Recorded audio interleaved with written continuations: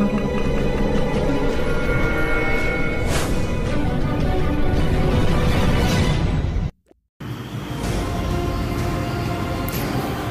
penonton Love Indonesia yang budiman Di mana pun kalian berada bagaimana kabar kalian hari ini? Saya doakan semoga kalian selalu sehat dan selalu dimurahkan rezekinya. Amin. Kabar baik Ketua Umum PSSI Muhammad Iriawan pastikan Egi Maulana Fikri siap bela timnas Indonesia usai hasil tes COVID-19 negatif. Namun seperti biasa sebelum lanjut menonton video ini tolong ringankan jari Anda untuk menekan tombol subscribe, like, dan nyalakan lonceng notifikasinya. Dan kalau sudah, kami ucapkan banyak terima kasih dan mari kita lanjut.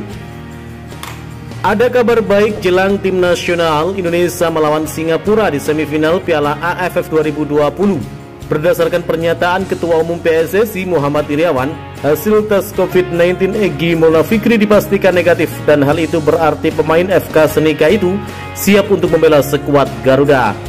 Seperti yang diketahui, timnas Indonesia akan menghadapi Singapura di leg pertama semifinal Piala AFF 2020. Pertandingan tersebut akan dilangsungkan di National Stadium Singapura pada Rabu 21 Desember 2021 atau malam ini waktu Indonesia Barat. Evan Dimas dan kawan-kawan akan menargetkan kemenangan agar Indonesia dapat melaju ke babak final Piala AFF 2020. Sementara kabar terbaru mengenai Egi Maulana Fikri untuk kembali bergabung dengan rekan-rekan yang mendapatkan kabar baik. Muhammad Iriawan mengatakan kalau hasil tes swab PCR pemain berusia 21 tahun itu telah dinyatakan negatif. Iwan Bule, sapa anak Muhammad Iriawan menjelaskan kalau Egi bisa mengikuti semua kegiatan timnas Indonesia mulai pagi hari ini.